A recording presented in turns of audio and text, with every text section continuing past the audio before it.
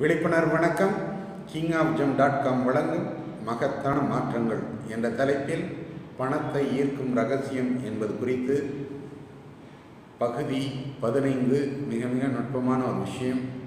பணத்தை ஈர்க்க வேண்டுமானால் நாம் தொடர்ச்சியாக நமக்கு துன்பம் வருகிறதா என்பது குறித்து சிந்திக்க வேண்டும். தொடர்ச்சியாக துன்பம் வருகிறது என்றாலே நம்மிடம் ஏதோ குறைபாடு இருக்கிறது என்பதை புரிந்து கொள்ள தொடர் துன்பம் தொடர் தோல்விங்கிறது ஒரு பலவீனத்தை குறிக்கக்கூடிய ஒரு விஷயம்.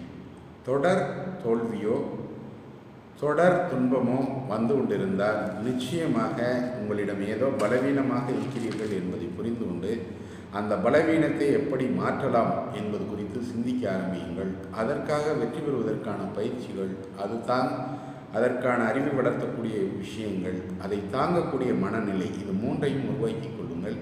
இது மூன்றையும் நீங்கள் உருவாக்கி கொண்டீர்கள் என்றால் உங்களால் பணத்தை மிக எளிய முறையில் ஈர்க்க முடியும். இந்த அடிப்படை பண்புகளை உயர்த்தி கொள்ளாமல் நாம் எத்தனை விதமான பயிற்சிகள் முயற்சிகள் செய்தாலும் நம்மால் பணத்தை ஈர்க்க முடியாது. தொடர் தோல்வி என்பது நம்முடைய பலவீனத்தை காட்டுகிறது என்ற நுட்பத்தை புரிந்து கொள்ளுங்கள். அந்த பலவீனத்தை நீக்குவதற்கான விஷயங்கள் குறித்து ஆழமாக சிந்தியுங்கள். அதை எழுதி பாருங்கள். எதனால் எனக்கு தோல்வி வருகிறது? எதற்காக எனக்கு துன்பம் வருகிறது? தொடர்ச்சியாக என்னுடைய வாழ்க்கையில் ஏன் பிரச்சனை வருகிறது என்பது குறித்து ஆழமாக சிந்தியுங்கள்.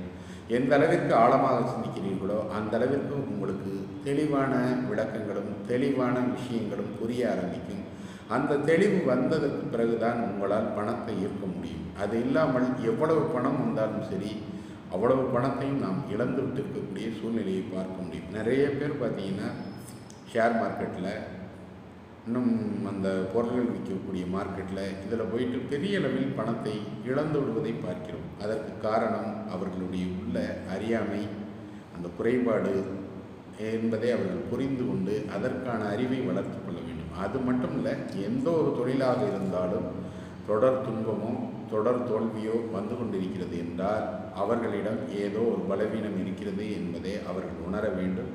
அந்த பலவீனத்திலிருந்து வெளியில் வருவதற்கு அதற்கு வெற்றி பெறுவதற்கு அதற்கான அறிவை பெறுவதற்கு அதற்கான தாங்கும் சக்தியை வளர்த்து கொள்வதற்கு அனைத்திற்கும் பயிற்சி தான் செல்ல வேண்டும். யார் நடத்துகிற பயிற்சியாக இருந்தாலும் பரவாயில்லை செல்லுங்கள்.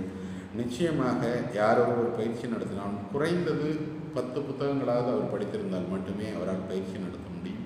இன்னும் ஏராளமான விஷயங்கள் அவருக்கு தெரிந்தால் மட்டுமே பயிற்சி நடத்த முடியும். அதனால் ஏதாவது ஒரு பயிற்சிக்கு சென்று உங்களுடைய குறைபாடை நீக்கிக் கொள்ளுங்கள். நீக்கிக் கொண்டீர்கள் என்றால் உங்களால் மிகப்பெரிய அளவில் பணத்தை ஈர்க்க முடியும் என்ற விஷயத்தை புரிந்து கொள்ளுங்கள். இது புரியாமல் தொடர் தோல்வியோ தொடர் துன்பமோ இருக்கும் பொழுது வேறு விதமாக பணத்தை முதலீடு செய்வதோ வேறு விதமான காரியங்களில் ஈடுபடுவதோ வெற்றியை தராது என்ற நுட்பத்தை புரிந்து கொண்டு உங்களுடைய பணத்தை இழப்பதற்கான சூழ்நிலையிலிருந்து நீங்கள் விடுதலை பெற வேண்டும். பணத்தை ஈர்க்க வேண்டுமானால் உங்களுடைய தொடர் தோல்விக்கும் தொடர் துன்பத்திற்கும் காரணம் என்ன என்பது குறித்து ஆழமாக சிந்தியுங்கள். ஆழமாக சிந்திக்க சிந்திக்க உங்களுக்கான வழிகள் புலப்பட ஆரம்பிக்கும். அதற்கு பிறகு நீங்கள் செய்யும் அனைத்து தொழில்களிலும் நீங்கள் ஒரு மிகப்பெரிய அளவில் வெற்றி பெறுவீர்கள். உங்களுடைய வாழ்க்கையில் மகத்தான மாற்றங்கள் துவங்க ஆரம்பிக்கும் என்ற நுட்பத்தை உங்களுடன் பகிர்ந்து கொள்கிறேன். தயவுசெய்து பயன்படுத்துங்கள். நிச்சயமாக ஒரு பிரம்மாண்டமான வெற்றியை அடைவீர்கள் என்ற தகவலை பதிவிட்டு நாளை வேறொரு தகவலுடன் உங்களுடன் தொடர்பு கொள்கிறேன். பணத்தை ஈர்க்க வேண்டுமானால் முதலில் நம்மிடம் உள்ள குறைபாடை நீக்க வேண்டும் என்ற விஷயத்தை மீண்டும் மீண்டும் நினைவூட்ட விரும்புகிறேன். தயவுசெய்து இது இல்லாமல் எதை செய்தாலும் நம்முடைய இழப்பு என்பது தொடர்ந்து கொண்டே இருக்கும் என்ற தகவலை பதிவிட்டு உங்கள் அனைவருக்கும் செல்வமும் செல்வாக்கும் பெருகட்டும்.